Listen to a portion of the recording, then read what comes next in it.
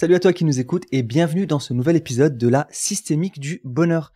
Alors, on le fait très rarement, mais dans cet épisode de, la systémique du bonheur, on accueille un nouvel invité. On est ravi de, t'avoir avec nous aujourd'hui pour ce podcast. Euh, on a euh, justement lancé cette invitation. Alors, c'est pas par hasard qu'on a lancé l'invitation pour que tu nous rejoignes, euh, puisqu'on voulait donner aussi un petit peu plus de, de visibilité à notre communauté sur le livre que tu as écrit euh, le dernier ouvrage en tout cas que tu as écrit, parce que tu en as écrit plusieurs. Et euh, on va aller euh, parcourir un peu bah, ce qui se passe dans, dans cet ouvrage, qu'est-ce qu'on peut en tirer. la systémique du bonheur, c'est vraiment l'analyse, la compréhension de ce qui peut aider l'individu à prendre plus sa place, à se sentir plus épanoui, à se sentir plus heureux. Et donc on va aller puiser dans ta sagesse pour avoir un peu plus d'infos et, et, voir où est-ce que tu peux nous emmener justement sur ce chemin. Alors peut-être avant de commencer, de proposer à Marc de se présenter, parce que Marc, il a vécu euh, plusieurs vies en une seule. Hmm. Oui, ça c'est le, c'est le privilège de l'âge. Euh, oui, je m'appelle donc Marc Belansky. Euh, le, le dernier livre que j'ai publié, je suis romancier, essayiste, et le livre que j'ai publié pour lequel vous m'interrogez aujourd'hui euh, a un titre très très évocateur, c'est Pourquoi il est impossible de rater sa vie? Voilà. Hmm. Donc je me suis aperçu euh, à un âge déjà avancé, après 60 ans, euh, qu'il était impossible de rater sa vie et donc euh, que je m'étais peut-être mis la pression un petit peu inutilement dans mes jeunes années ou de mes, années de maturité euh, pour absolument réussir telle ou telle chose et que finalement on était un petit peu victime de cette de cette idéologie de la réussite et que la idéologie de la réussite nous éloignait, nous éloignait peut-être un petit peu de la réalisation du bonheur. Je pense qu'on aura l'occasion mhm. d'en parler. Et j'ai effectivement j'ai une carrière dans le domaine de la télévision et des médias pendant pendant 40 ans et je me consacre à l'écriture et à depuis depuis quelques années maintenant. Comme je disais tout à l'heure, tu as eu plusieurs vies en, en une fois. Tu as travaillé dans la télévision, tu as été créateur euh, de projets, d'entreprises. Euh, tu as également écrit des livres. Tu es un philosophe aussi, parce que tu as, aussi euh, un diplôme de philosophie, il me semble. Et est-ce que toi, dans ta vie, dans toutes ces expériences que tu as vécues, tu as déjà pensé, en tout cas avant d'avoir écrit ce livre, tu as eu déjà cette réflexion de j'ai raté ma vie euh, Oui, je, je l'ai. En fait, ce qui s'est passé, c'est que quand j'étais jeune, j'avais peur de rater ma vie. Euh, c'était c'était vraiment, il fallait que je fasse euh, vraiment des études, il fallait que j'ai des enfants, il fallait.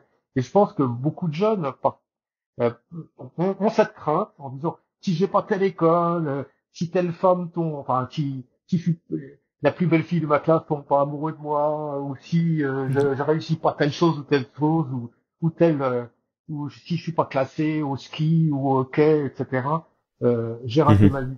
Donc j'ai vécu effectivement avec une certaine pression. C'est pas mes parents qui me l'ont dit, c'est moi je me l'ai toute seule, j'ai tout mhm. seul, et j'ai vécu avec une certaine pression euh, de la réussite. Et dans ma vie professionnelle, bon, j'ai eu des, des, choses que j'ai réussies, des choses que j'ai beaucoup moins bien réussies, euh, des échecs, des réussites, mais à chaque fois, je me suis, je me suis dit que j'apprenais quelque chose. J'apprenais quelque chose des échecs, j'apprenais quelque chose de la réussite, et je crois que peu à peu, euh, c'est une certaine sagesse est apparue en moi jusqu'au moment où j'ai eu cette révélation euh, il y a quelques années en disant mais quoi qu'on fasse, on, ne peut pas rater sa vie puisque nous sommes un point de vue unique sur l'univers. Euh, mhm. La seule chose que nous avons à faire, c'est de vivre. Et c'est de vivre, évidemment, le plus heureux possible, le plus intensément possible, le plus densément possible. Euh, mhm. Mais c'est de vivre sa propre vie, quel que soit le chemin, d'une certaine façon. Alors ça a l'air tout simple comme ça, mais c'est en fait quand on se pénètre de cette idée, c'est beaucoup plus euh, profond et très libérateur. Ouais, complètement. Mm. Et tu vois, pendant que tu tu disais ça parce que effectivement là Samir tu posais la question de est-ce que Marc a finalement déjà ressenti euh, cette impression de louper sa vie à un moment donné? Et alors comme tu l'as dit, il y a le privilège de l'âge et d'avoir vécu plein d'expériences, d'avoir vu plein de choses qui t'a permis de prendre du recul. Mais j'ai cru comprendre à travers ton ouvrage que c'était aussi avec des rencontres et des discussions et des découvertes en fait d'autres personnes que tu as fait ce cheminement pour prendre conscience et amener dans ton livre que bah finalement on, on peut pas vraiment louper sa vie parce que il y a plein de choses en fait, il y a plein de choses qui vont se passer, il y a plein de choses qui vont se mettre en place et ce gros terme là, ce gros mot de louper sa vie, il est peut-être pas si valable que ça. Est-ce que tu pourrais nous nous en dire un peu plus sur le chemin que tu as, suivi et que tu retransposes euh, à travers ton livre? Oui, bien sûr. Euh. Je, je, vais, donner quelques exemples que je prends, qui sont dans le livre. Euh, je, je, parle de euh, la réussite, par exemple de la réussite matérielle. Euh, pour beaucoup de personnes, réussir sa vie, c'est euh, voilà, savoir une aisance, c'est réussir dans son job, c'est avoir de l'argent, c'est être reconnu, c'est un certain nombre de choses de ce type Euh, être, euh, mais euh, on s'aperçoit quand même que pour moi, réussir sa vie dans le sens purement matériel, on peut réussir sa vie de façon matérielle et, et, et, et en faire un échec total d'un point de vue personnel, parce que quelque part, c'est peut-être c'est peut-être vouloir réaliser une espèce de rêve qu'on avait dans l'enfance. Je veux devenir très riche, ou alors je veux devenir champion du monde de planche à voile, ou je veux devenir, etc. Et on s'aperçoit que on a vécu avec des rêves qui peu à peu se sont, sont devenus des rêves euh, qui nous ont enfermés dans quelque chose. Et comme on n'arrive mhm. pas à atteindre tel ou tel objectif, quand on devient pas très riche, ou quand on devient pas champion du monde à voile, ou quand on devient pas danseur étoile, eh ben, on a, on a raté sa vie. On se met des mmh. objectifs, et je fais une différence dans mon, livre entre les objectifs et les projets. Je vais vous donner un exemple très simple. Euh, si je parle plutôt aux jeunes, des gens qui ont 18, euh, 20 ans. Donc tu vois, si tu veux devenir, euh, tu veux devenir danseur. Ton projet, c'est mmh. d'être danseur. Euh, à ce moment-là, tu peux, euh, si, si ton objectif c'est de devenir danseur étoile à l'Opéra de Paris ou à Montréal ou à New York, tu as 95% de chances de rater ce projet et donc d'être malheureux parce que ton objectif, euh, c'est d'être danseur étoile et si tu n'y arrives pas, alors ta vie est foutue. Bon. Mhm. Si ton projet, c'est d'être danseur, alors dans le meilleur des cas, tu vas être danseur étoile, mais tu peux aussi devenir, euh, comment dirais-je, tu peux devenir professeur de danse dans un institut, euh, euh, quelque part dans, dans, un, dans un petit conservatoire et être très heureux parce que tu as réalisé ce projet d'être dans ça. Le bonheur, la réussite, euh, elle vient en plus. Si elle vient, tant mieux, mais finalement, elle n'influe pas beaucoup sur le sur la vie et sur euh, et sur le bonheur. Ça, c'est quelque hmm. chose qui est, qui est, qui est important. Je pense que se mettre des objectifs, vouloir réaliser ses rêves, parfois, euh, c'est se mettre dans des positions où on s'empêche d'être euh, où on s'empêche d'être heureux tout simplement. Mhm. Exact. Moi, il y a un truc qui pop, Julien, dans justement dans dans ce que Marc dit, parce que ça me rappelle euh, une expérience vécue quand je travaillais. Alors moi, j'ai travaillé autrefois dans le domaine de l'informatique pendant dix ans, et ce qui me manquait dans le domaine de l'informatique, c'était de répondre à certains de mes besoins, dont principalement le besoin de contribution, cette interaction avec les autres, le fait de les inspirer, de les aider, d'être présent pour eux. Alors je le faisais au travers du travail, mais c'était pas mon travail. C'était, j'ai intégré ces éléments durant mon travail. Et euh, je me disais que j'étais pas à ma place, que je serais malheureusement, enfin, que je serais malheureux dans mon travail. Mais euh, à un moment, en fait, ce que j'ai fait, c'est que Julien, euh, je pense que tu t'en rappelles, c'est aussi là que j'ai rencontré ma femme. Je me suis mis à euh, participer à des œuvres caritatives, donc aller rencontrer les EF euh, le, le samedi dimanche, m'investir, etc. Et c'est à ce moment-là que je me suis rendu compte qu'en fait, là où je pensais que j'allais être malheureux au travers du travail parce que le travail prend beaucoup de place dans nos vies. Euh, il est même central, il prend, il prend même beaucoup beaucoup de temps. Bah en fait, mmh. en intégrant des éléments à l'extérieur pour venir répondre à nos besoins, bah en fait au final, on peut euh, quelque part euh, répondre à ce besoin de sens et on peut être heureux. Et euh, et je trouve ça drôle parce que c'est c'est un peu ce que tu dis quand tu dis bah en fait quelqu'un peut être passionné par la danse, il veut euh, réussir dans, dans, dans la carrière de la danse, mais en fait il y a plein d'autres euh, justement voies qui pourrait emprunter pour pouvoir euh, mmh bah, justement cheminer, partager sa passion, vivre de sa passion. Et, euh, et au final, bah, c'est là où souvent on a une vision étriquée du bonheur.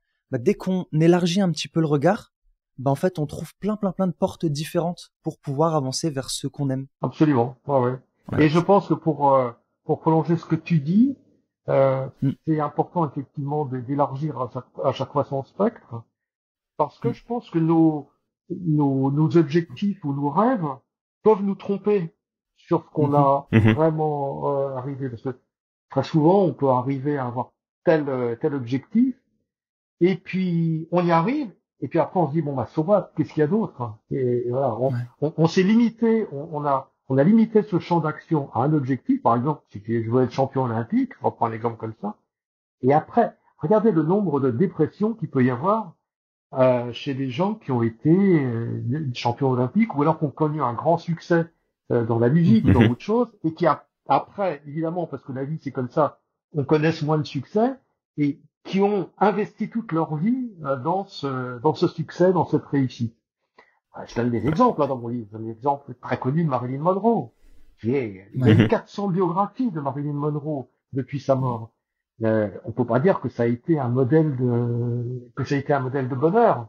Euh, Tout à fait. Voilà, elle est passée. Euh, on, on, en a fait, on en a fait une icône du bonheur, de la réussite, et on voit les dégâts que ça peut euh, que ça peut causer. Alors que c'était une femme simple, finalement, qui avait une seule envie, mhm. c'est d'avoir une vie familiale qu'elle n'a pas pu avoir qu'on la reconnaisse en tant qu'actrice, euh, parce que c'était une très bonne actrice, alors qu'on en a fait un sexe symbole plus qu'une actrice, euh, mm. voilà, qui à un moment donné a été victime de cette euh, iconographie de la réussite qu'on a voulu faire d'elle. Il y a, il y a pas mal d'exemples, euh, d'exemples comme ça. Et lorsque ce que tu disais est tout à fait vrai, c'est une, une espèce d'élargissement. Et d'ailleurs, on s'aperçoit quand on a des échecs, qu'on se dit mm-hmm. quelques années plus tard, bah finalement, j'ai pas réussi ça, mais j'ai vu tellement d'autres choses, j'ai découvert mm. tellement d'autres choses que que, que, j'ai eu euh, des richesses peut-être plus importantes que j'aurais eu si j'avais réussi le truc pour lequel je m'étais sur lequel je m'étais focalisé depuis l'âge de 6 ans. Ouais. Tout à fait, ouais. Mm. Ben, ça fait euh, ça fait référence justement à un des outils dont on parle régulièrement et Samir est un grand euh, spécialiste. Il a un, il a trois doctorats, je pense, sur sur le sujet. Mais euh, c'est ce qu'on appelle effectivement la, la, la puissance du recadrage. C'est que tu recadres finalement comment est-ce que tu vois les choses, tu les regardes sous un angle différent et puis là bah tu prends conscience de oui j'ai peut-être euh, loupé cette opportunité ou je ne suis peut-être pas allé au bout de tel sujet mais en même temps, voilà tout ce que ce chemin-là m'a apporté et voilà tout ce que j'ai pu avoir aussi à côté. Et c'est vrai que quand on se laisse euh, un peu leurrer comme ça par les chants de sirène de nos rêves et de nos aspirations, bah on finit par euh, par couler le bateau et, euh, et, on finit dans les récifs parce que parce que justement on, idéalise parfois tellement que bah on, on, en oublie en fait de vivre et de profiter de ce qui est à côté aussi. Donc c'est c'est clair que c'est super, euh, c'est super important. Et euh, il y a, il y a cette expression en fait dans, dans ton livre sur laquelle euh, je crois pas déjà tu passes un chapitre, mais il y a aussi tu, tu, tu reviens dessus. C'est cette expression qui dit passer à côté de sa vie, passer à côté de ma vie. Et tu as voulu mettre l'accent là-dessus justement pour bah pour qu'on puisse prendre du recul, que le lecteur puisse se dire, mais est-ce que cette phrase-là, finalement, elle existe vraiment? Est-ce qu'elle fait vraiment du sens? Est-ce qu'elle a vraiment une valeur? Qu'est-ce que qu'est-ce que t'aimerais peut-être partager euh, finalement là dans, dans ce podcast à ce sujet-là? Ouais, ça c'est un ça c'est un point très intéressant. En fait, l'idée m'est venue de ma femme qui est qui est psy. Euh, mhm. Donc, elle reçoit des gens. Euh, et il y a une phrase qui revient tout le temps. Euh, très souvent chez les gens qu'elle reçoit, c'est des gens qui ont une certaine maturité, euh, pas forcément des très jeunes, et qui disent j'ai l'impression de passer à côté de ma vie. Alors j'ai voulu interroger cette phrase parce que ça me paraît bizarre de dire je suis passé à côté de, de, de ma vie ou je suis en train de passer à côté de ma vie. Qu'est-ce que ça veut dire? Est-ce que ça veut dire que ma vraie vie, parce que je suis mhm. quelqu'un de très, ma vraie vie elle est ailleurs, je devrais faire telle chose, très brillante. Malheureusement, on m'a pas aidé, ou alors je suis pas tombé au bon moment, au bon endroit, ou j'ai pas eu des gens, j'ai pas fait les bonnes rencontres, ou voilà. Donc, j'y arrive pas, mais ma vraie vie idéale, elle est ailleurs, et moi, je suis en train de vivre hmm. cette pauvre vie, etc. Bon, c'est quand même, c'est quand même très particulier de se, de se, de se penser comme ça.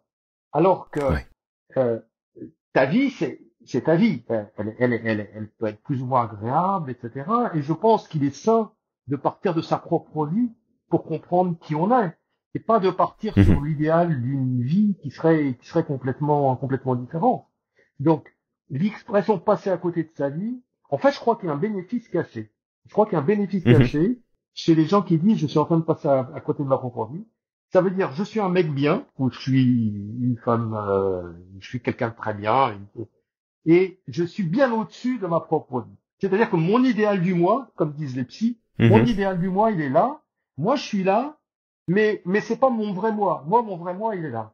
Donc c'est mhm. une espèce de, de c'est une espèce de façon de se défendre en se disant des choses difficiles que je vis actuellement.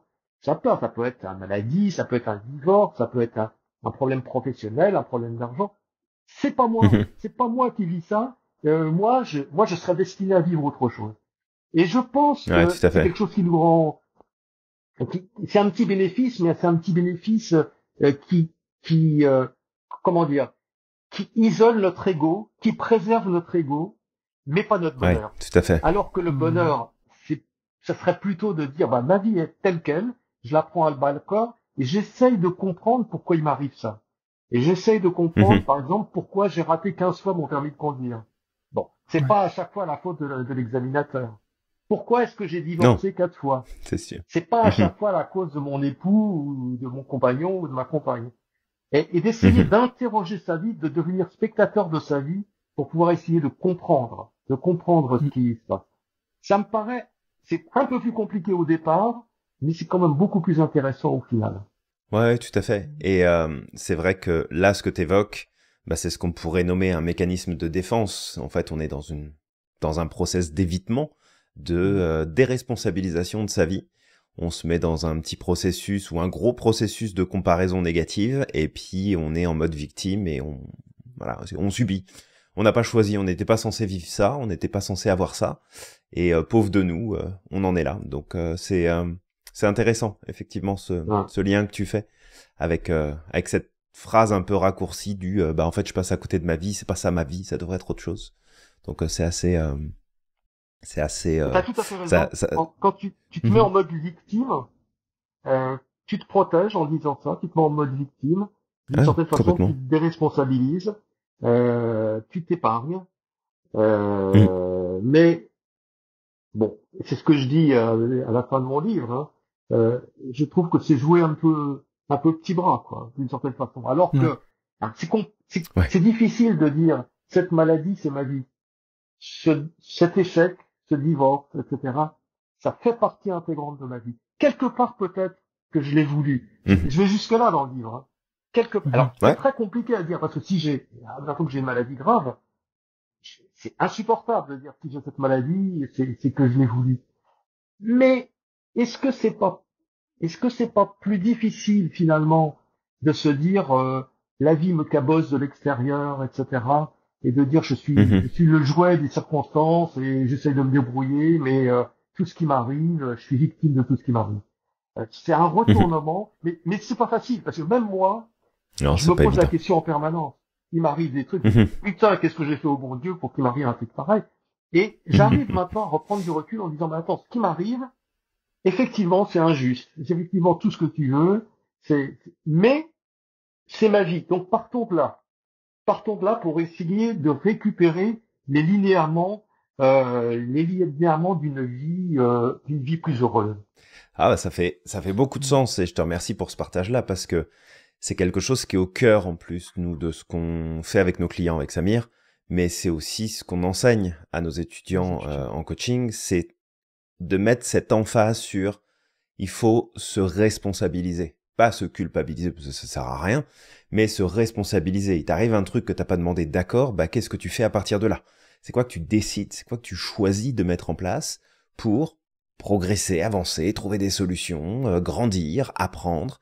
Et euh, du coup, ça fait ça, ça, ça résonne beaucoup finalement avec ce qu'on partage dans dans ce podcast depuis, euh, je pense, 170 épisodes peut-être quelque chose comme ça. Donc c'est c'est c'est c'est chouette de l'entendre aussi. Ouais. Bah finalement bah de de toi, de ta bouche, de ce que t'écris, de ce que tu partages. Donc ça vient résonner, c'est c'est cool. Ouais, surtout que Marc, il a, il a, comme je dis, il, a vécu plusieurs vies. Donc, entrepreneur, euh, effectivement, euh, euh, dans la télévision, philosophe, mais aussi coach. Donc, en fait, il, il, a, utilisé aussi toutes ses connaissances dans son, dans son approche. Tout à fait. Je, je fais, je fais du, du coaching de, de, dirigeants depuis quelques, quelques années. Et, mhm. et c'est effectivement très intéressant de voir, par exemple, je prends quelqu'un à qui il arrive un problème professionnel. Euh, t'es, je sais pas, tu as, as, un bon job, bien payé, etc. Et d'un seul coup, tu te fais virer. Euh, tu mhm. as deux attitudes possibles, tu as trois attitudes possibles. La première attitude possible, c'est de dire, c'est des salauds, ils ont pas reconnu euh, que j'étais bon, ils ont pas vu mes résultats, etc. Ce qui est probablement, ce qui a une part de vérité, probablement. Mhm. Euh, deuxième, euh, deuxième attitude possible, l'attitude inverse, c'est de dire, oh là là, j'ai été nul j'ai été mauvais, j'ai j'ai pas réussi à faire ça, etc. Et de se morfondre en disant finalement, euh, j'étais pas à la hauteur, etc. Ils, ont eu ils ont eu raison de me virer, et tout ça. Donc une attitude qui est l'attitude de la colère, l'autre qui est l'attitude qui est l'attitude plutôt de la de la contrition. Moi, mhm. je pars du principe que les deux sont vrais. Peut-être que sur certains trucs on n'a pas été à Peut-être que c'est complètement injuste parce que la vie d'une entreprise ça t'échappe complètement. Tu peux être très bon, tu peux être très performant et te faire virer alors qu'un autre qui est moins performant parce qu'il est, il est copain avec un tel. Ça existe tout ça dans les entreprises. La, tout à fait. La, troisième attitude, c'est, de se débarrasser de tous ces pathos. Et de, de, de, l'échec, de la réussite, de dire j'ai été bon, j'étais pas bon. De dire voilà, je suis dans telle situation maintenant. j'essaie, j'essaie d'interroger, d'interroger ce qui s'est passé, comment je peux le vivre et comment je peux rebondir plus tard sur d'autres choses. Et on s'aperçoit assez mhm. vite, dans tous les cas, dans tous les cas, on s'aperçoit assez vite que quitter une situation professionnelle, ça peut être très difficile, mais que si on se débrouille bien, on retrouve des situations qui sont au moins aussi satisfaisantes. Et en plus, on a appris un certain nombre de choses. Il y a, y a rien de dramatique. Alors, il y a des choses qui sont dramatiques dans la vie. Perdre d'être cher, euh, perdre des facultés. Euh, il y a des choses qui sont très dramatiques. C'est pas forcément. Mais dans la vie professionnelle, souvent, c'est beaucoup moins dramatique qu'on le pense. Et la façon de rebondir peut nous donner une certaine, euh, voilà, une certaine densité et, et nous apprendre que finalement, euh, on est, on a une vie qui est quand même riche et, intense. Exact. Ouais, complètement. Je, je pensais à une chose qui était intéressante, qui avait été dite tout à l'heure, c'est quand, quand Marc, tu disais en fait que tu vas dans le livre, tu vas jusqu'à dire parfois qu'on l'a voulu, en fait, que la personne l'a voulu. Et en fait, ça me fait penser à plein d'autres choses parce que, tu sais, quelqu'un qui entendrait ça, il se dirait, mais comment tu peux oser dire que j'ai voulu ça alors que j'ai envie d'être heureux? Mais on, amène toujours, souvent cette question, Julien, de est-ce que je préfère avoir raison ou est-ce que je préfère être heureux? Et pour certaines personnes, être heureux, c'est avoir raison. Et lorsqu'une personne se justifie par A plus B, que de toute manière, elle réussira jamais sa vie, que de toute manière, elle est euh, malheureuse, qu'il n'y a rien qui fonctionne pour elle, bah en fait, elle vient comme enrichir ce, ce besoin d'avoir raison et quelque part, elle, elle est heureuse d'avoir raison. Mais dans les faits, dans sa vie, bah en fait, ça entretient réellement son malheur. Et il y a aussi ce paradoxe-là que je trouve euh, que je trouve intéressant. Ces personnes qui ont envie d'avoir raison et qui se justifient par A plus B que de toute manière ils sont malheureux, que de toute manière il y a rien qui ira dans leur vie, mais quelque part ils échouent pas leur vie ils la réussissent puisqu'ils donnent naissance et ils donnent raison à tous ces ensembles de croyances qui les qui viennent les les les, les, soutenir et puis euh, le, le euh, les accompagner en fait durant leur vie. Donc quelque part ils réussissent à rater leur vie quelque part. Hein. Je dis mais ça entre guillemets, ils réussissent mhm. réellement ce qu'ils veulent faire quoi. ouais. ouais, tout à fait. Tout, tout, à fait. T'as tout à fait. C'est tout à fait ça. Je pense que le fait de réussir ou de rater sa vie, c'est une histoire qu'on se raconte. Ouais. Et, et, on essaie de se conformer à cette histoire. Euh, ça peut mm. être une histoire euh, positive ou une histoire négative. L'histoire positive, c'est de dire je suis un être extraordinaire, je suis le plus intelligent, je suis le plus etc. Bon, qui amène à des déconvenues euh, extrêmement importantes. Mais tout ce qui va aller dans le sens, toutes les petites réussites qui vont aller dans ce sens-là, euh, l'ego d'une certaine façon va s'en nourrir. Mais ça peut être aussi euh, je suis nul, effectivement, je ne, peux pas réussir, euh, je n'y arriverai jamais. Et, là aussi, on se raconte une histoire. Je donne un exemple dans mon, livre. euh, de quelqu'un qui qui qui réussit pas à séduire les femmes, genre Woody Allen, Mhm. Mhm. euh, et qui dit bah, de toute façon moi j'échoue à chaque fois, euh, j'y arrive pas, etc. Euh, il, il va le, le il va draguer sa voisine euh, et, et il va faire tout ce qu'il faut pour rater, c'est-à-dire il va essayer de l'embrasser tout de suite. Enfin, c'est vraiment les films de Woody. Et, et ça foire parce que sa voisine elle a pas envie d'être embrassée tout de suite. Et alors elle va être- Mhm. elle va être- elle va partir, il va rien se passer et il va se dire, il va être conforté dans l'idée j'ai raison, je suis nul, euh, je suis incapable de séduire une femme. euh, Donc, il va continuer, il se raconte sa- cette histoire, c'est cohérent, c'est bien. Mhm. Et imagine qu'à ce moment-là, sa voisine lui est tombée dans les bras. Si, si sa voisine lui tombait dans les bras euh, comme ça, eh ben, il serait complètement euh, euh, désappointé parce que ça correspond pas à l'histoire qu'il a dans la tête, que je suis nul, j'y arrive pas, etc. Ça peut être très très déstabilisant. Donc, les histoires qu'on se raconte, positives ou négatives, on se les raconte à soi-même en permanence. Ce qui est intéressant, faire, en- on est obligé de se raconter des histoires sur soi-même, parce qu'on est des êtres de, on est, on est des êtres de, de, de, de récits. Voilà. On est, Mhm. pour avoir de la cohérence, on est obligé de se raconter l'histoire de notre jeunesse, l'histoire de maintenant. Mais ce qu'il faut, c'est que lorsqu'on a des éléments qui viennent nous dire des choses un petit peu différentes, même si c'est pas toujours très agréable, c'est intéressant parce que ça élargit sa propre vision de soi-même. Voilà. Si je, si je suis persuadé d'être quelqu'un qui écoute, moi ça m'est arrivé ça. Ça, ça m'est arrivé en entreprise. J'étais sûr d'être quelqu'un qui écoute. C'est-à-dire que je me disais, euh, je suis très empathique. Quand les gens viennent dans mon bureau, je passe deux heures avec eux, je suis un très bon manager, etc. Et un jour, il y a quelqu'un qui m'a dit, mais toi, ton problème, c'est que tu écoutes jamais. Alors ça m'a fait, alors, je me suis dit, attends, elle, a- elle a... Et je me suis aperçu à ce moment-là que c'était pas parce que je passais deux ans avec quelqu'un dans son bureau que je l'écoutais vraiment. Et ça m'a remis en Mm. question. Parce que à ce moment-là, j'ai eu, j'ai eu la bonne idée de me dire, ce qu'elle dit, elle, c'est peut-être pas complètement idiot, et ça a remis complètement en cause mon, l'image que j'avais de moi-même de quelqu'un qui écoute. Et du coup, je pense que ça m'a fait progresser. Alors que si j'étais resté dans le, dans le mirage de quelqu'un qui écoute, alors que c'était pas du tout la façon dont les gens me ressentaient, euh, Mhm. bah, j'aurais pu aller vers de nouvelles déconvenues. Ça, c'est, Ouais, complètement. Ouais. C'est, euh, c'est, c'est- chouette comme partage et euh, c'est vrai que beaucoup on, on pense savoir ce que c'est qu'écouter. Et Ouais. euh, nous, on le voit beaucoup, tu sais, que ce soit avec euh, les gens qui viennent euh, nous nous voir pour euh, avoir quelques conseils sur leur pratique, que ce soit des gens qu'on a en supervision ou même nos étudiants quand ils arrivent à l'institut.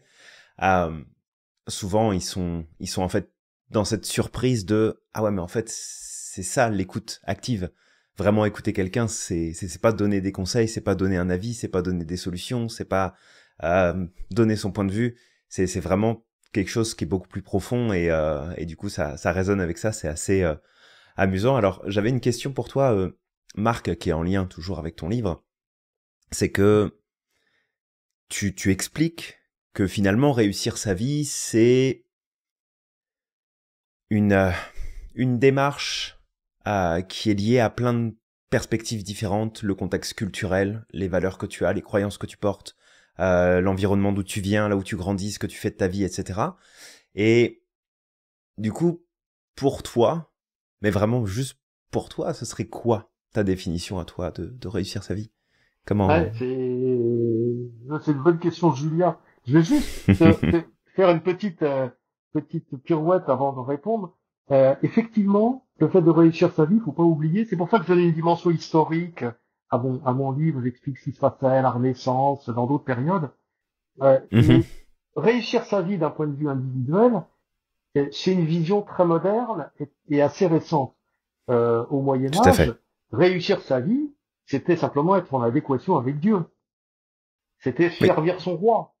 C'était pas du tout, euh, voilà. Donc, euh, d'ailleurs, ça explique que les gens faisaient des pyramides, que les gens se sacrifiaient euh, beaucoup plus facilement que nous, nous sacrifierions nous euh, tout de suite et, euh, en, en ce moment. Mhm. mais- donc, c'était ça, réussir sa vie, c'était appartenir à quelque chose de différent, de plus grand que soi. D'une certaine façon, Ouais. Mm. c'est quand même beaucoup plus, c'est beaucoup plus confortable. Parce que, voilà, réussir sa vie, c'est, c'est pas soi, c'est être en Les Grecs pensaient que réussir sa vie, c'était être en, en harmonie avec le cosmos.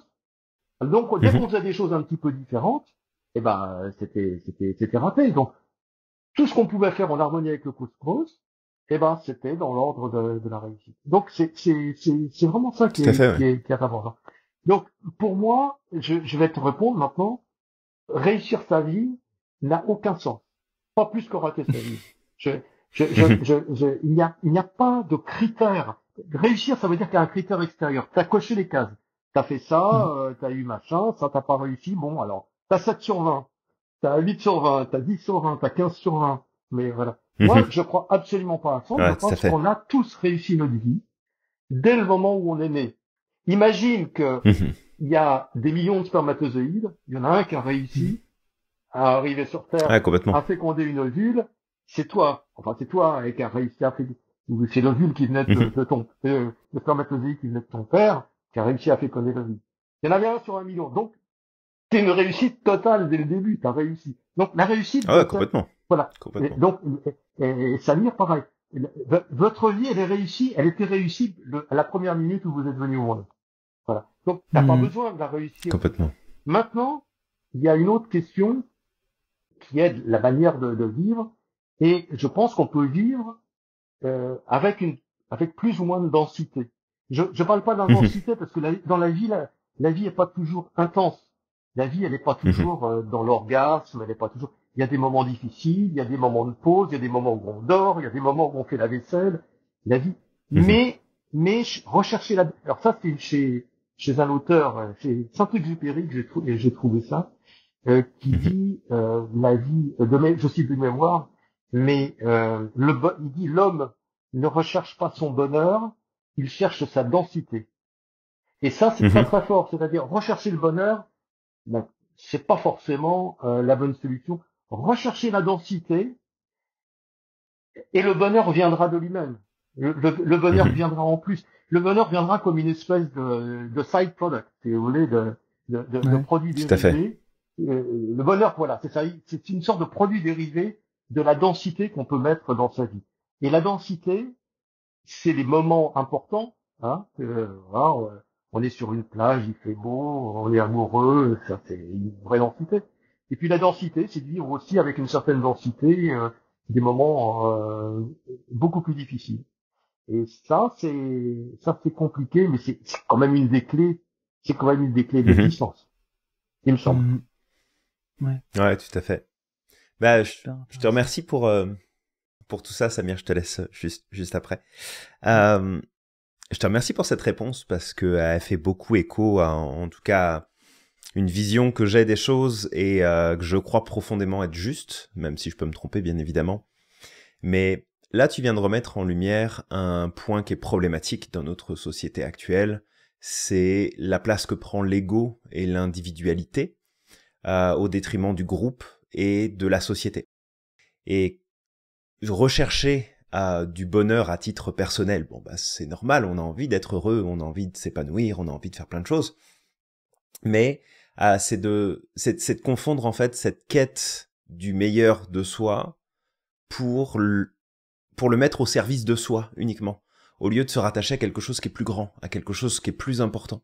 Et finalement, il y a plein de personnes qui, dans cette quête de développement personnel, dans cette quête de, de, de reconnexion à leur meilleure version, finissent en fait par euh, devenir des, des, êtres déprimés et négatifs et euh, en souffrance parce qu'ils ont ils ont oublié de se rattacher à quelque chose de plus important. Et derrière, après, ça appartient à chacun de se rattacher à une cause, de se rattacher à une religion, de se rattacher à, à la spiritualité ou peu importe. Mais euh, de du coup, j'aime ta réponse parce que c'est finalement, mais ok, il y a le côté personnel, mais en fait, on fait partie d'un ensemble, on fait partie d'un groupe et il y a cette, euh, cette, cette, expression que j'aime beaucoup, euh, qui en fait nous rappelle à quel point l'humanité existe parce qu'elle elle fait partie d'un ensemble. Elle est, elle est interconnectée. Parce que si on était tout seul comme des cons dans notre coin, ça ferait longtemps qu'on aurait disparu de la surface de la planète. Ouais. Fait c'est, c'est aussi du, coup de rappeler et euh, la réponse que tu me donnes là euh, fait, voilà, résonne beaucoup avec ça et je trouvais ça super, super pertinent. Donc merci pour ta réponse. on peut voir les choses de façon très utilitaire. Euh, il y a un chapitre dans mhm. mon livre très rapidement euh, où je dis euh, il vaut mieux être euh, il vaut mieux être pauvre à Zurich que riche à, euh, à Sao Paulo. Ce que, ce que je veux dire, c'est Mhm. que à quoi ça sert de réussir sa vie d'un point de vue matériel quand tout le monde est malheureux autour de soi? Voilà. Ouais. Si vous êtes dans une ville où il y a beaucoup de misère, eh, vous allez être obligé de, de vous de vous barricader parce que vous- voilà, il y a beaucoup de délinquance, etc. Quand les enfants vont à l'école, ils sont obligés d'être, euh, vous avez peur qu'ils se fassent enlever, etc. Ça c'est, il y a des gens très riches qui Ouais. vivent dans une alors que si vous êtes relativement pauvre, je sais pas, à, à Zurich ou à Montréal ou dans des endroits assez sécurisés, finalement, finalement, vous êtes plus heureux parce que voilà, vous vivez peut-être pas la vie que vous avez envie de vous rêver, vous vivez, mais vous n'êtes pas en train de vous poser la question de, à, à- à tout moment de dire qu'est-ce que les gens qui, qui sont très pauvres autour de moi vont pouvoir euh, me faire comme, euh, comme misère. Donc, on ne peut pas réussir sa vie tout seul. Ça ça- ça n'a Mhm. aucun, Tout à fait. ça n'a absolument aucun Ça ne sens. fait aucun sens. Absolument. Complètement d'accord avec ça. Ouais. C'est vrai. Et ça fait un lien avec les besoins, Julien, parce que euh, l'un des moyens, justement, en tout cas, d'avoir une vie équilibrée, sans parler de bonheur, on parle, on parle Mhm. plus d'alignement que de bonheur, parce que le bonheur, c'est, tu sais, on peut mettre plein de choses derrière le bonheur. Euh, c'est comme l'échec ou euh, la réussite, c'est, c'est, c'est une nominalisation. Du coup, n'importe qui peut venir mettre ce qu'il veut là-dedans. Et, et ça peut euh, être euh, soutenu bah, par la culture, par la- les sociétés dans lesquelles on vit, l'époque. Bah, comme tu l'expliquais dans ton livre, à une époque, c'était de servir Dieu le, le bonheur, le fait de réussir sa vie. Et puis aujourd'hui, c'est peut-être plus de réussir professionnellement, même si à un moment, je me rappelle, il y avait trois axes qui étaient amenés euh, dans le livre. Euh, même si c'était pas le, je, je voulais parler d'un autre sujet, mais les trois axes c'était réussir socialement, intellectuellement et affectivement. Et, euh, et du coup, ce que tu as amené, c'est que, bah, en gros, si une personne avait loupé l'un des trois éléments, euh, bah, en fait, quelque part, elle pouvait penser qu'elle qu'elle ratait sa vie. Et, Ouais. Et je trouve ça intéressant justement le qu'est-ce que nous on met? C'est tu sais moi si j'avais un client devant moi et qui me disait bah en fait en- je, je, je passe à côté de ma vie ou j'ai envie de, de réussir ma vie, je lui dirais mais en fait c'est quoi pour toi en fait la réussite? Mets de Ouais. côté ce qu'on peut te t'amener et le développement personnel a beaucoup contribué à ça, hein, de de venir mettre des cases, des espèces de cases à cocher, de bah en fait il faut que tu fasses ça pour réussir ta vie, alors que pas du tout. Peut-être que pour moi réussir la vie, ma vie c'est euh, de servir les autres, d'aider les autres, euh, de contribuer à petite échelle. Peut-être que Ouais. pour d'autres, c'est de contribuer à grande échelle. Et peu importe, en fait, euh, le- le- l'idée qu'on met derrière, mais c'est surtout de, de creuser un petit peu, de faire ce cheminement intérieur de c'est quoi pour moi au final. Ouais. Et je m'en fiche de ce que les autres pensent, parce que si je me compare à ce que les autres pensent et si je fais des croyances des autres la mienne, bah c'est là que je vais louper ma vie, parce que je vais vivre une vie qui n'est pas la mienne. Ouais. Mais au final, c'est quoi pour moi la réussite? Et ça, je trouve ça euh, intéressant. Et je voulais amener un autre, euh, un autre sujet parce que tout à l'heure, tu, tu parlais de, c'est à partir du moment où on est né, on a quelque part réussi sa vie. Et il y a un chapitre que j'ai adoré. euh, C'était le chapitre où tu parlais du carpe diem. Et en fait, tu amenais l'idée de. Alors, on parle du memento mori, euh, donc euh, n'oublie Mhm. pas de mourir. Mais en fait, toi, tu amènes l'autre idée, mais qui est complémentaire, qui est pas opposée en réalité. C'est Memente Vivere de Johann euh, Wolfgang von Gogh. Et j'ai beaucoup aimé en fait ce chapitre-là parce que tu, tu explores le l'idée du temps. C'est de, en fait, le passé n'existe pas, le futur n'existe pas. En réalité, le plus important, c'est le présent. Est-ce que tu as envie peut-être de nous en parler euh, Parce que j'ai vraiment adoré. Et puis en plus, tu parles de Saint Augustin que, que j'aime beaucoup. Oui, c'est c'est parce que ça aussi, euh, on- il y a une espèce d'injonction dans le dans le développement personnel qui est de dire il faut vivre sa vie, il faut profiter de l'instant. Carpe diem, ça veut dire ça. Profite de la, profite du moment. Et alors on te balance ça, tu es en train de vivre un truc, on te dit allez c'est bien, carpe diem. Et ça, moi je trouve que c'est c'est c'est assez, euh, ça bloque quoi quand on te dit Mm. euh, profite. Ah ouais, mais alors à ce moment-là, si on si on se dit qu'on profite, eh ben on profite plus parce qu'on est spectateur de sa propre de, de, de ce moment Mhm. et, et à un moment donné c'est pas possible profiter de l'instant ça veut dire justement ne plus y penser c'est c'est- c'est être Mm. présent c'est être présent dans l'instant Ouais. Sortir de la c'est tête. être à l'intérieur. euh, ouais. donc euh, Mm. carpe diem je trouve que c'est une injonction extrêmement euh, stressante voilà c'est stressant de dire Mm. quand on te dit il faut que tu profites de l'instant parce qu'on profite toujours de l'instant on vit toujours dans l'instant et c'est là que tu, tu, tu, tu cites euh, Samir Saint-Augustin Saint-Augustin il dit, il dit pas autre chose il dit le passé euh, n'existe plus euh, le futur n'existe pas il n'y a que le présent qui existe. Alors tu vas dire, ah oui, mais le présent, alors ça veut dire qu'au moment où je dis ça, je suis déjà dans le passé. Le présent n'existe pas vraiment. Et moi, ce que j'ai dans mon livre, c'est que si le présent, il existe, et tu peux lui donner une certaine euh, intensité, et tu peux le, lui donner une certaine, euh, une certaine profondeur, et même probablement une certaine éternité. C'est-à-dire mhm. que mhm. tu peux le faire, et tu peux te rappeler un moment de ta vie que tu avais oublié, où tu te dis, bah, là, j'ai vécu un, moment qui était vraiment assez extraordinaire, et ça change le regard sur ton passé. Parce que ces moments-là, quand tu as l'habitude de, tu prends l'habitude de regarder un petit peu ton passé, tu dis, ah là, il s'est passé quelque chose. J'en avais pas conscience, mais là, je l'ai fait. Donc, j'ai vraiment vécu ce moment-là. Il est important, il continue à m'irriguer, il continue à me rendre heureux. Donc ça, c'est important. Je ne suis pas passé à côté euh, de ce, de, mhm. ce moment-là. Voilà. Plus que te dire, dans l'instant, je vis.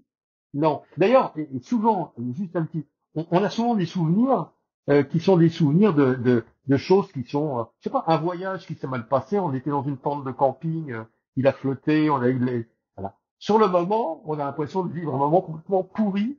Et puis on s'aperçoit après qu'on a vécu un moment sympa avec des gens et qu'on s'en souvient et qu'on aime bien le raconter.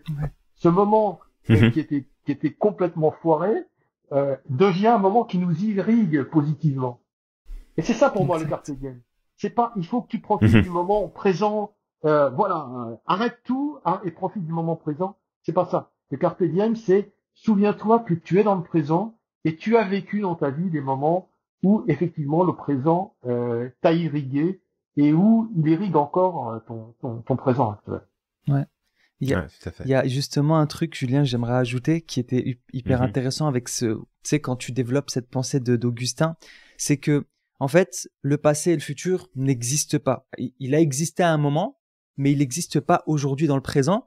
Et si je revis un événement passé, en fait, je vis le présent du passé.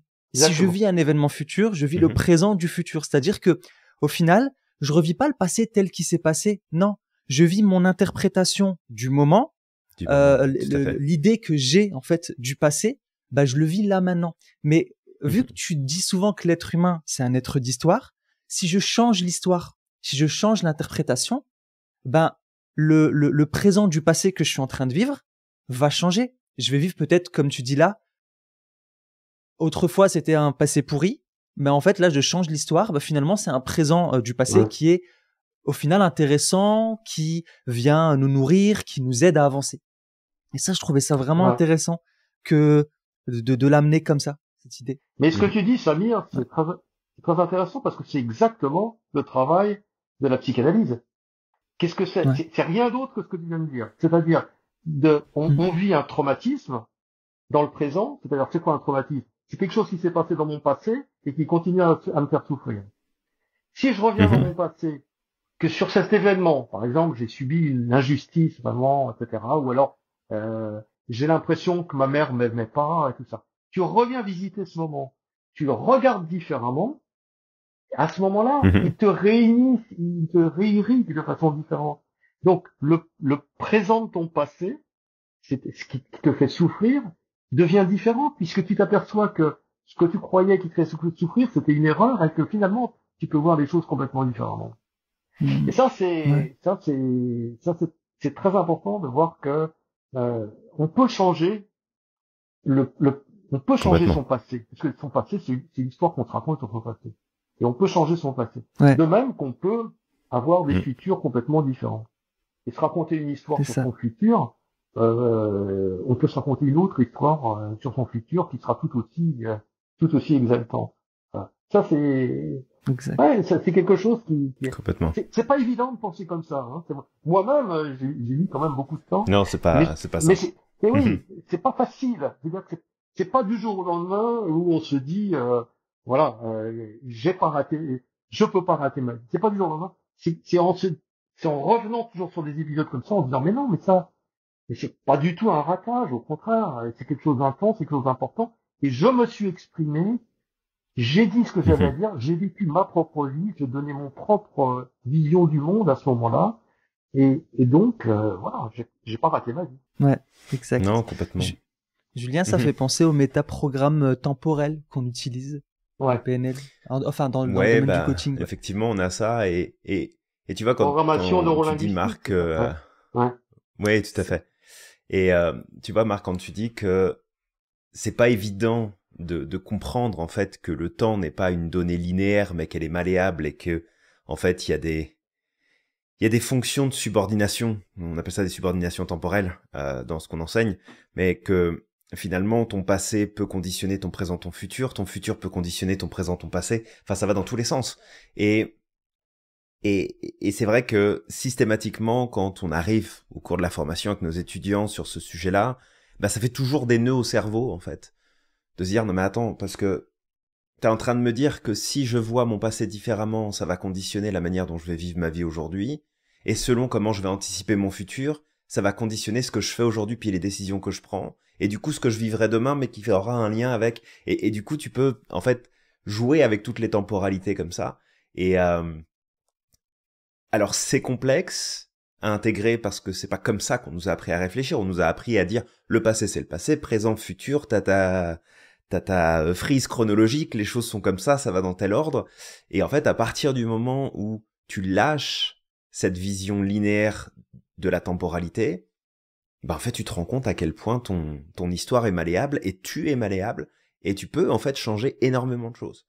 Et ça c'est ultra puissant en fait. Une fois que tu l'as saisi, compris, bon, ça veut pas dire que c'est facile à mettre en application tout le temps, mais que t'as as un pouvoir en fait de, de création qui est juste hallucinant en fait sur mm. sur ta vie et sur ce que tu en retires. Donc euh, c'est assez. Euh... exactement ça. Alors c'est tout à fait mhm. ça. On a un pouvoir sur notre vie qu'on soupçonne pas. On a un pouvoir énorme sur notre vie. Mais c'est pas un pouvoir qu'on imagine de faire changer les choses, de faire changer les gens, de faire changer les trucs. Euh, ça, on n'a pas, on n'a pas ce pouvoir-là. Par contre, on a un pouvoir qui est beaucoup plus, d'une certaine façon, qui est beaucoup plus profond, et ça, on l'a complètement, c'est de changer l'histoire qu'on se raconte. Ça, tu as tout à fait raison. Et en changeant l'histoire qu'on se raconte, on change le monde. C'est, ça, ça, ça peut paraître abstrait comme ça, euh, mhm. Mais non, mais non, parce que le monde, c'est quoi? C'est la seule des histoires que tous les gens se racontent. C'est rien d'autre. C'est rien d'autre. Ouais. Mm. ouais, complètement. Ouais, on est des milliards d'histoires. C'est passionnant et, euh, et c'est chouette de, de, de voir finalement que tu as aussi cet écho-là et cette vision-là et que tu la repartages à nouveau dans ton livre pour inspirer le monde, inspirer les gens à comprendre que il faut qu'ils remettent bah, expression euh, très catholique, mais euh, l'église au milieu du village, euh, de, de, vraiment se dire, ok, j'ai du pouvoir, oui, mais j'ai pas du pouvoir là où je le pense. J'ai pas du pouvoir là où, tu sais, c'est pas un pouvoir matériel, c'est pas un pouvoir sur l'humain, c'est pas un pouvoir sur l'environnement. C'est, de dire, je peux changer mon histoire en changeant la perception que j'en ai. Et c'est vrai que ça, ça a été une, une, un petit aparté là, ça a été une prise de conscience qui a été énorme pour moi et euh, je remercierai, je pense jamais assez le professeur Caicedo, euh, parce que je me suis formé à l'époque en, en, sophrologie, j'ai eu la chance de me former avec le professeur, et ça, ça a été quelque chose d'énorme. Et c'est cet aspect de philosophie où on sort du... C'est comme la, la troisième version de la vision. La première, c'était, bah en fait, on subit notre environnement, on n'a pas le choix, on vit ce qu'on a à vivre. La deuxième, c'est non, c'est moi qui ai le pouvoir, c'est moi qui décide, je, je, décide de tout ce que je fais, l'environnement n'a aucun impact sur moi. Et en fait, c'est de se mettre entre les deux et de se dire, le seul pouvoir que j'ai, c'est comment je vais interpréter ce que l'environnement m'envoie et ce que mon propre système m'envoie, et c'est la décision que je vais prendre entre les deux. Et ça, c'est, une fois que tu as saisi ça, tu te rends compte de, de toute la puissance, en fait, que tu as sur toi, ta vie, sur la qualité de ta vie, sur ce qui va se passer. C'est juste euh, hallucinant. Je m'arrête là parce que c'est un truc qui me passionne, donc je vais pas aller ah, plus loin, euh, mais, mais, vraiment ça résonne. Oui. On sent que ça te vraiment. passionne et en même temps ça t'émeut. Ah oui, mais complètement, complètement, parce que ça a été euh, l'occasion, comme moi ça l'a été, mais toi bon euh, probablement plus jeune que moi, ça a, ça a été l'occasion mhm. d'une prise de conscience.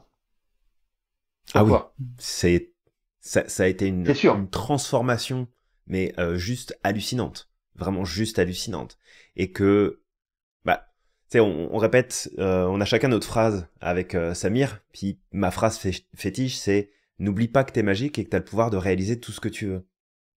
Et derrière cette phrase-là, c'est justement ce, ce, pouvoir incroyable de l'individu, où finalement t'as une personne qui va subir un truc dans sa vie qui est terrible et qui va en faire le le point central de toute son histoire et, et sa vie va se terminer comme ça, et l'autre personne qui va vivre exactement la même situation et qui va en fait transformer ça, transcender ça, et, et va en fait faire de l'alchimie avec sa propre vie. Et moi, ça me, euh, ça, ça, ça, me, ça me transporte. J'ai pas d'autres mots. Ça me transporte. Donc, euh, ouais, ça fait, ça fait beaucoup écho. Hmm. Vraiment intéressant. Bah, de toute façon, c'est des, c'est des sujets qui nous passionnent. Julien, tu sais, Julien et moi, des fois, on passe, euh, on passe des heures comme ça à discuter, à refaire le monde, euh, à penser, à, se remettre en question, etc. sur tous ces sujets-là. C'est pour mm. ça que j'ai beaucoup aimé. Euh, bah, c'est très en accord avec ce que, avec notre philosophie, Julien, justement, le livre de, de Marc. Et vraiment. Il y a tellement de choses justement qu'on essaye d'enseigner, qu'on partage, qui reviennent dans ce livre-là. Et j'invite en tout cas nos auditeurs à le, le, lire parce qu'il est vraiment intéressant. Il y a plein de choses dans ce livre. Il y a aussi bien de la poésie que euh, de la philosophie, mais il y a aussi ce que j'ai aimé, c'est que tu as ajouté des petits QR codes à certains moments. C'est un livre interactif, c'est-à-dire que tu mhm. renvoies vers des liens, des vidéos, des, des audios, et, et ça permet de voyager. Des tableaux, je parle de, de, de, l'art aussi, etc. Et je mets des QR codes pour que les gens puissent euh, euh, puissent aller voir et, et sous les yeux euh, sur leur portable le tableau dont je suis en train de parler, quoi. Exactement, ouais. C'est un point que j'ai vraiment adoré. Et aussi, en plus, c'est à chaque fin comme ça de chapitre, souvent il y a, y a le petit, euh, euh, les, petites astuces en fait, comment faire pour rendre notre vie euh, moins difficile, en tout cas pour rendre notre vie un peu plus savoureuse. Et, et du coup, à mhm. chaque fois, c'est comme ça que c'est exploré. Et j'ai beaucoup aimé comment le livre est, est structuré. Et il y a un autre point que j'ai aimé, et depuis tout à l'heure on en parle, ça revient. C'est sais, on, parle beaucoup justement, Julien, du stoïcisme, euh, parce qu'on est très, encore une fois, on est passionné aussi de, de, de, de la philosophie euh, du stoïcisme, et on, on cette parole d'Épictète, euh, en tout cas qui revient dans le manuel d'Épictète, qui dit d'apprendre à faire la différence entre ce sur quoi on a du pouvoir et ce mmh. sur quoi on n'a pas de pouvoir. Et ça, c'est en tout cas moi, c'est un élément central que j'utilise beaucoup dans ma vie au quotidien et que j'utilise aussi dans ma force de recadrage. C'est ok, il y a des choses sur lesquelles j'ai du pouvoir. Ça, je peux, euh, tu sais, euh, je peux mettre le focus dessus parce que ça va me permettre de poser des actions, d'en sortir. Par contre, les choses sur lesquelles j'ai pas de pouvoir, à quoi ça sert que je passe mon temps dessus, que je je continue de cogiter, puisqu'au final, un, ça me bloque, ça ne me permet pas d'avancer, et en plus, ça vient entretenir mon malheur. Donc en fait, ça, j'aime beaucoup cette philosophie du stoïcisme, et ça revient souvent, en tout cas, dans cette idée-là que tu amènes de, en fait, il est impossible de rater sa vie, mais quelque part aussi, c'est, ça va être important déjà de faire attention à l'histoire qu'on se raconte. Euh, on est les maîtres, en tout cas, de notre histoire. On est les maîtres aussi de, du temps qui passe. C'est à nous de mmh. décider. Euh, et, et derrière aussi, il faut juste peut-être des clés et des prises de conscience. Et parmi ces prises de conscience, ben, peut-être de faire attention à là, ce sur quoi on met le focus, en fait. Tout à fait par rapport euh, à ce que tu dis sur la philosophie stoïcienne, euh, c'est vraiment c'est vraiment intéressant et euh, moi je vais encore plus loin en fait parce que il y a, y a ce il y a ce sur quoi on n'a pas de pouvoir, la vie extérieure, etc. Mhm. Et ce sur quoi on a du pouvoir, sa propre vie, sa propre histoire. Mais on s'aperçoit, plus tu te focalises sur ce quoi, ce sur quoi tu as du pouvoir, plus tu agis sur ce sur quoi tu as tu as du pouvoir, que tu t'aperçois que finalement, ce sur quoi tu as du pouvoir est beaucoup plus important que tu le pensais, et ce sur quoi tu n'as pas de mhm. pouvoir se réduit peu à peu. C'est mhm. une expérience, c'est une expérience très particulière. Et ça ne veut pas dire que mhm. après tu deviens le maître du monde. Ça veut dire que cette expérience, tu t'aperçois que ce sur quoi tu n'as pas de pouvoir se réduit, se réduit, se réduit dans, dans, dans ta vie. Ça, c'est une expérience que j'ai profondément vécue ces, derniers temps, et c'est euh, c'est absolument passionnant et c'est et c'est très jouissif de s'apercevoir que finalement on pensait qu'on n'avait pas de pouvoir sur telle ou telle chose et on s'aperçoit qu'en travaillant sur son histoire euh, finalement on fait on fait changer on fait changer les choses. On fait changer les choses parfois auxquelles on pense qu'on n'aurait jamais pu sur lesquelles on n'aurait jamais pu avoir d'influence. Complètement il y a hum, un autre chapitre euh, aussi que qui, qui mérite pas tous hein, de toute façon, mais qui mérite euh, peut-être qu'on qu'on l'explore un petit peu ici. Euh, c'est le chapitre où tu parles de la peur de vivre. Est-ce mmh. que Est-ce que tu voudrais peut-être nous, en dire un peu plus, partager avec les auditeurs et du coup bah, leur donner encore plus l'envie d'aller lire ton ouvrage de cette peur de vivre, justement? Oui, parce que je pense que je pense que l'angoisse de rater sa vie, euh, mhm. c'est quelque part lié à l'angoisse de la mort et est lié à la peur euh, à la peur de, de, vivre, à la peur du mhm. risque, parce que le risque va te le risque de telle ou telle chose se passe pas quand tu, tu le penses euh, va te détruire. Le, le, le, risque, le risque que tu, tu vas euh, qui va t'arriver telle ou telle chose que ce que tu avais prévu ne se réalise pas, ça va être une catastrophe et ça va te détruire. C'est ça la peur de vivre. C'est ça la peur de vivre. Mhm. Alors que euh, se dire que ce que tu vas vivre, quel que soit ce que tu vas vivre, sera de toute façon, tu vas faire en sorte de le vivre de la façon la plus intense, euh, c'est c'est quand même la clé. Je vous donne un exemple euh, très euh, très euh, très basique, très parce que moi je suis très pragmatique finalement tu vas en vacances. T'imagines que tu pars en vacances. Euh, t'as loué une maison, je sais pas où, sur la côte, euh, en Floride. tu vas essayer de t'imaginer des choses, mais euh, tu sais très bien que tes vacances se passeront absolument pas comme tu les avais prévues. Le lieu que tu imagines, il ressemble, il ressemble pas du tout au lieu que tu vas vivre. Les gens que tu vas rencontrer, pas du tout. Tu penses que tu vas faire de la plongée, pas du tout. Tu vas faire complètement autre chose tu penses que tu vas réussir à faire ça, pas du tout, parce que tu auras mal aux pieds, et que, etc. Ou alors tu vas tomber malade et tout ça. Mais euh, mhm. voilà, tu, tu es disponible pour vivre ça de façon différente. Si tu t'accroches en disant euh, j'ai pas fait de plongée, j'ai pas fait de machin, j'ai pas bu des moritos, et en plus tu es tombé malade, tes vacances sont pourries, euh, sont pourries à l'avance si tu veux. Donc c'est ça l'ouverture. Et en plus c'est doublement bénéfique parce que tu as d'une part le plaisir d'avoir imaginé tes vacances, c'est important, et en plus le plaisir de les vivre et de et de et de t'apercevoir qu'elles sont complètement différentes de ce qui est de ce que tu avais imaginé, ce qui est une autre jouissance. Ouais, complètement. Mm. Complètement et et il y avait euh, justement cette partie aussi bah, qui a qui a beaucoup résonné. Alors bon, on va on, on l'a compris là, tout tout ce que tu as mis dans ton dans ton ouvrage résonne énormément avec euh, bah, notre, vision, notre façon de, de, de, penser, d'enseigner, etc. Mais il y a vraiment ce côté-là sur ce chapitre finalement où tu mets en avant que c'est créer créer sa vie et choisir finalement ce qu'on a envie de ou en tout cas tendre vers le résultat qu'on souhaite avoir dans notre vie, c'est surtout l'assumer et de construire le sens que ça doit prendre. Et ça c'est puissant de se dire ok ben tu, tu veux créer ta vie, tu veux vivre ta vie, ben il faut que tu l'assumes. Et assumer, c'est sortir de cette posture de victime, c'est sortir de cette position de pauvre petite chose, pauvre moi, je subis mon environnement, puis j'ai pas le choix. Et, euh, et, et, et, je trouve ça important. Et il y a cette notion de sens aussi, le sens, la construction du sens de la vie que tu mets en avant. Euh, j'ai pas, je sais pas si tu faisais ça en référence, peut-être que tu connais ses travaux à Victor Frankl, sur le sens de la vie. Est-ce que c'était quelque chose qui, qui a résonné pour toi, si, si tu avais eu l'occasion de le lire ou euh... ouais, Bien sûr, Victor Frankl, c'est une référence importante. En plus, c'est quelqu'un qui a vécu euh, euh la Shoah, mm. qui a vécu, euh, qui est un, qu'on un résilient, euh, mm. et qui, qui a vécu à partir de, de ça. J'ai moi-même, mm-hmm. dans ma famille, connu des gens qui avaient, qui avaient, qui avaient vécu des expériences de vie très jeunes du plus dramatique qui se trouvait, euh, déportation, etc. Euh, et c'est quelque chose effectivement qui euh, qui m'a irrigué. Et pour une pour une pour une bonne raison, c'est que c'est des gens qui qui ne voulaient pas euh, être considérés comme des victimes. C'est-à-dire mmh, que le, le statut de victime, il est il est assez. Par exemple, quand on a vécu un traumatisme, ça peut être un viol, ça peut être...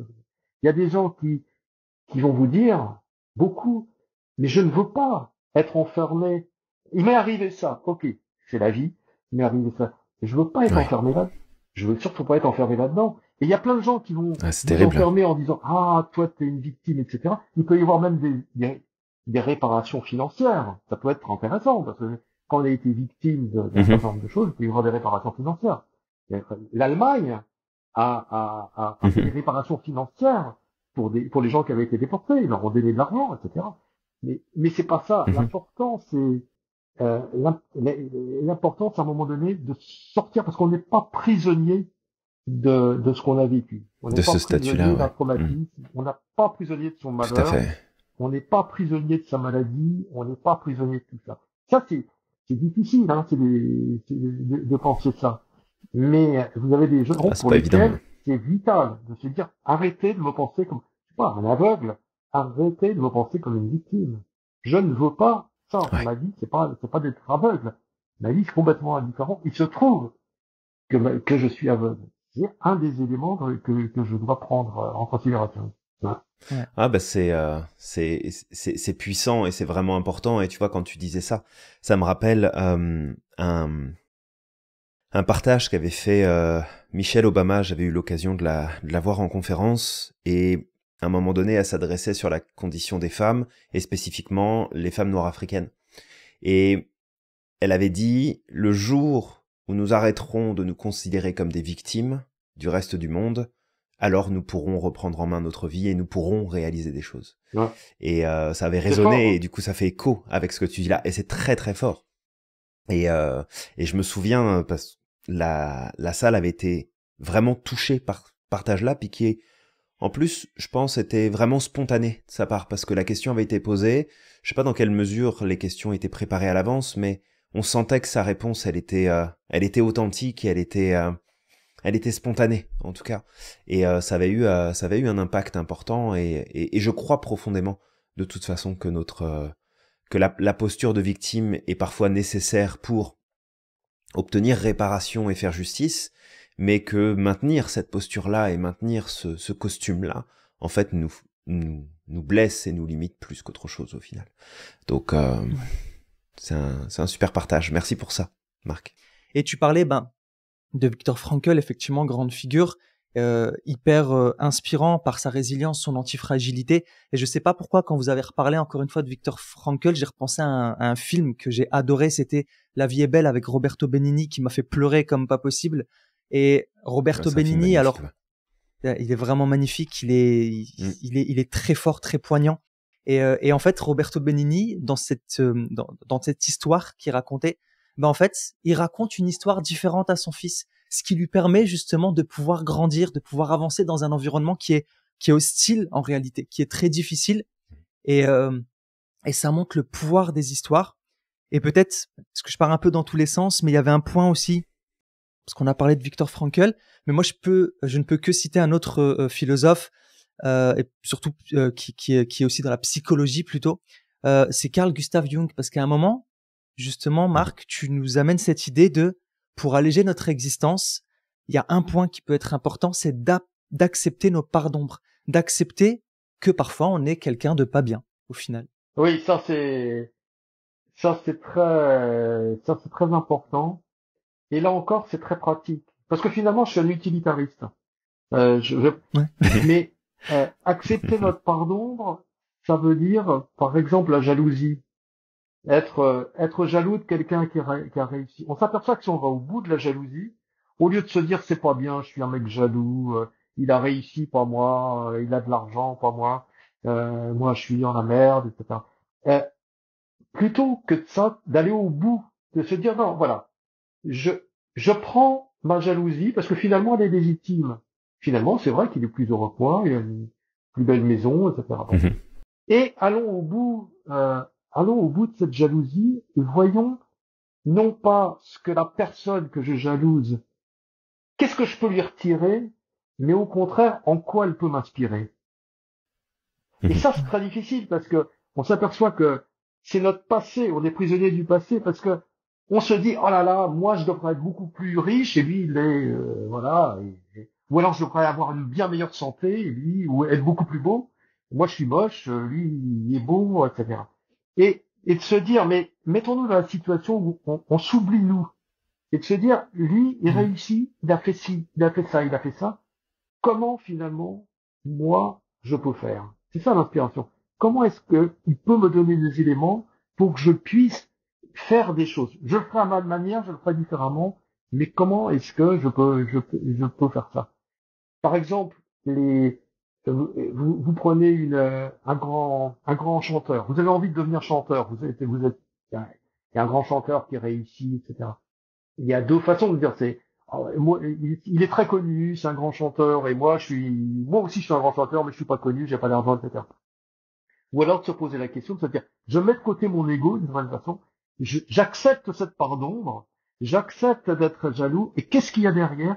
Qu'est-ce qui peut faire que euh, il, il a, qui m'inspire Qu'est-ce qui peut faire que Quelles sont les stratégies que je peux mettre en place pour sortir de cette situation, pour faire autre chose à ma manière, peut-être pour pas lui ressembler, mais, mais pour être, euh, voilà, pour sortir de, de cette histoire de vie. Donc accepter sa pardon, ça veut dire oui, accepter l'envie, accepter la jalousie, accepter la méchanceté, accepter tout ça, parce que ça, c'est ce qui nous construit, et c'est ce qui fait partie de, de nous-mêmes, et d'une certaine façon, en les regardant, vous voyez que, que ces choses-là vont disparaître. Est-ce que j'ai le temps de donner un dernier exemple là-dessus?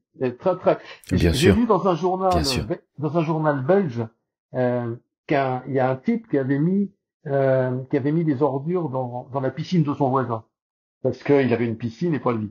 Et il était très jaloux de sa piscine. Et euh, il a été arrêté par la police. Et la police a dit mais pourquoi vous avez mis des ordures?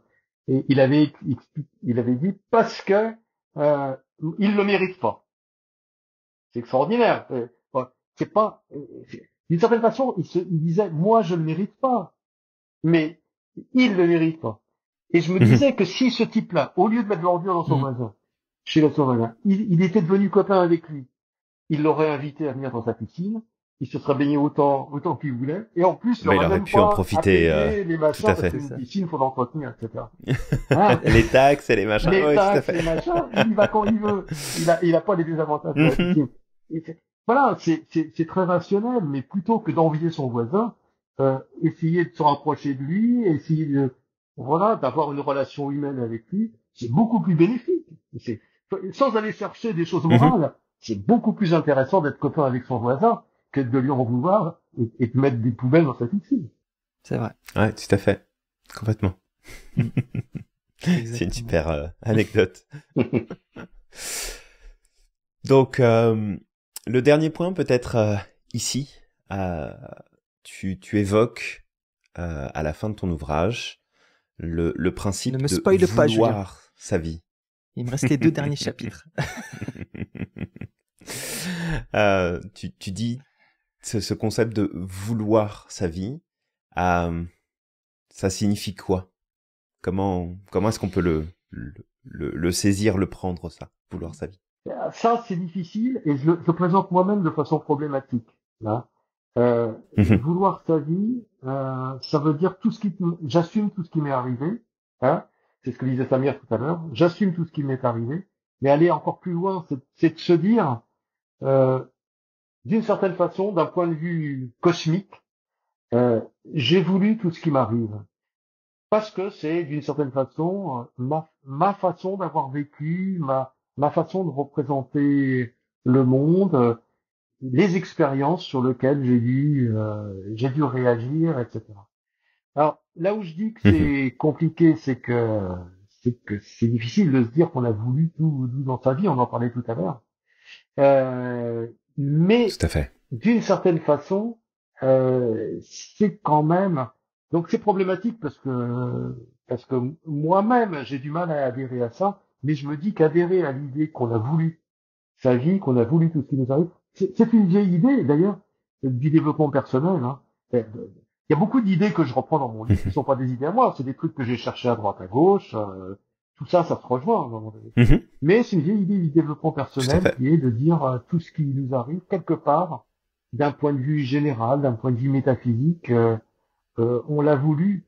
C'est difficile, c'est difficile à imaginer. Mais alors, quand de temps en temps on, rentre vraiment positivement là-dedans, euh, c'est tellement, je veux dire, c'est tellement libératoire. C'est tellement libératoire. J'ai un accident de voiture. Mhm. Bon, j'ai, ma voiture est en miettes. Prenons pas d'exemple trop, euh, trop dramatique, parce que plus c'est dramatique, plus c'est compliqué. Mhm. Mais ma voiture est en miettes.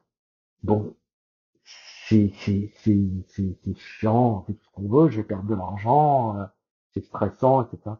D'une certaine façon, ça fait partie de mon existence, c'est ça.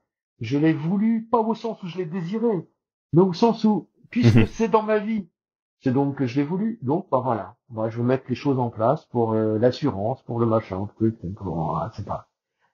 Euh, c'est, c'est, je sais, j'ai du mal à le formuler, comme vous le voyez, parce que c'est plus une intuition qu'une démonstration. Je mhm. sais pas de convaincre les gens.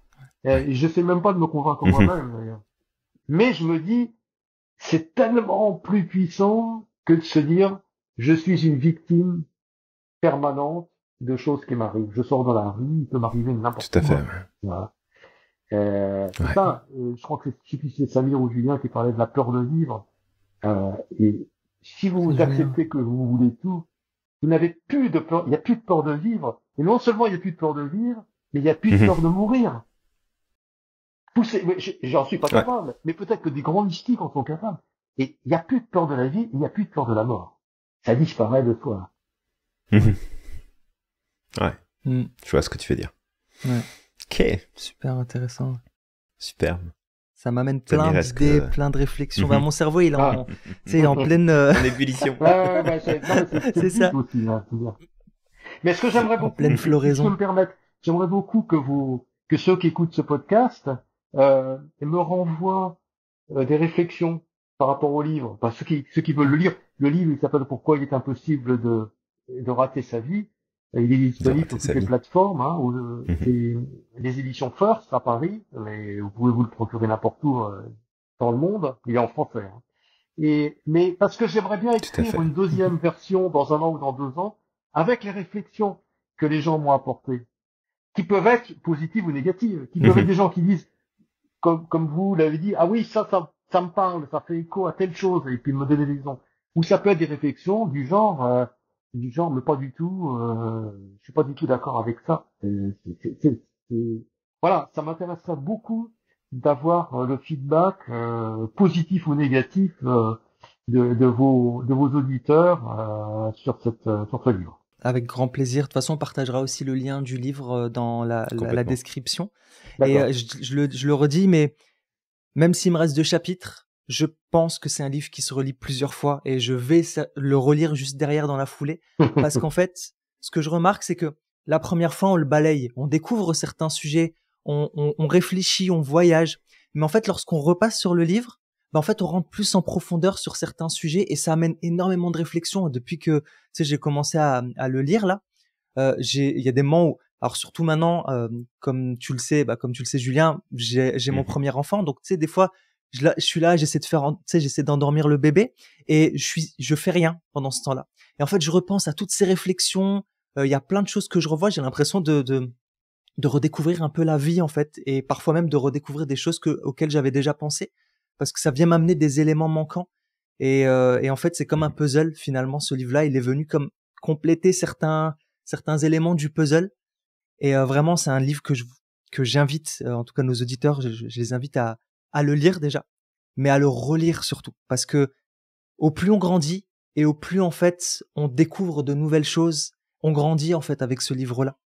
Vraiment, c'est un c'est un livre euh, super inspirant, super profond et aussi très authentique. Et ben je te le dis Marc, mais je te trouve très euh, très touchant, très touchant parce mmh que je te trouve touchant là en discutant avec toi, mais je te trouve touchant aussi au travers de ton livre parce que ce livre-là est authentique. Et, et ça, c'est un point qui est euh, hyper important pour moi et Julien l'authenticité. Bah, écoute, je te remercie de ça parce que c'est c'est ce que j'ai cherché. J'ai pas cherché un livre pour euh, euh, pour raconter que j'avais tout compris sur l'univers. J'ai cherché un livre pour euh, faire partager aux gens euh, ce que j'ai pu ce que j'ai pu découvrir avec avec l'expérience, avec les années. voilà, c'est vraiment ça que j'ai cherché à faire. Merci mm. en tout cas à tous les deux pour bah, pour, Merci à toi, cet échange. Vraiment. Merci à toi. et, et, je. un superbe échange. Hmm. Je pense, Julien, qu'on le réinvitera certainement, peut-être dans notre autre podcast, la système ça serait du bien, succès. Ça serait bien. Ouais. Où là, on parlera de succès, mais plus ton succès, d'accord? Ce serait plus ça. Euh... Là, c'est ça. beaucoup plus parler de toi. Ouais. Merci. Euh, superbe. Bah avec un très très grand plaisir. Donc les personnes, euh, comme d'habitude, qui nous écoutent, on vous invite à liker, commenter, partager ce podcast et puis vous abonner si c'est pas déjà le cas. On vous replace toutes les informations euh, à propos de Marc, de tout euh, tout ce qu'il a pu faire jusqu'à maintenant et tout ce qui suivra si vous le suivez. Et puis bah, surtout ce livre dont on parle dans cet épisode. toi qui nous écoutes, si jamais tu es en cours de réflexion pour te reconvertir professionnellement que tu es arrivé à un stade de, euh, ta vie professionnelle où tu as envie de changer d'air et de refaire un métier qui a plus de sens et que tu envisages le coaching comme une option euh, sérieuse, eh bien sache que tu peux nous contacter et on a euh, bah, en fait un, plan à te donner sur mesure pour que tu puisses atteindre tes objectifs de reconversion professionnelle. Donc ça nous fera grand grand plaisir de te guider dans ce process. Et puis si tu as des questions, bah, comme d'habitude, tu nous envoies un petit message. Exactement. Petit message avant de finaliser ce podcast. Sandia, je sais que tu nous écoutes, elle écoute tous nos podcasts. Sandia, c'est une étudiante qu'on a à Madagascar et qui a créé une librairie justement où tout le monde peut venir se, se servir et je suis sûr et certain que ton livre finira dans sa librairie. Parce que c'est une amoureuse des livres et euh, je suis mm. sûr et certain que là sur Madagascar, certainement. Tu vas, tu vas très vite être connu. Euh, en tout ah cas, les, gens vont découvrir. Je connais un peu Madagascar, je me suis, euh, c'est vraiment un pays que j'adore. Ouais. Bah, pour sûr et certain, tu, ton livre va finir dans sa, dans sa bibliothèque qui compte énormément d'adhérents. Ouais. donc voilà. Donc, certain. Toi qui nous écoutes, n'oublie pas de liker, commenter, partager ce podcast si tu as aimé, à contacter Marc s'il y a des réflexions que tu veux faire justement par rapport au livre. Ça va être hyper euh, important pour lui, pour la, la suite. Moi, j'ai hâte en tout cas. Et puis, euh, bah peut-être pour le mot de la fin, moi, je t'inviterai à croire au maximum en ton potentiel et de ne pas oublier d'être extraordinaire chaque jour N'oublie pas non plus à quel point t'es magique et que t'as le pouvoir de réaliser absolument tout ce que tu souhaites. Et on te dit à la prochaine. À la prochaine. Un gros merci encore, Marc. Ouais, Bientôt.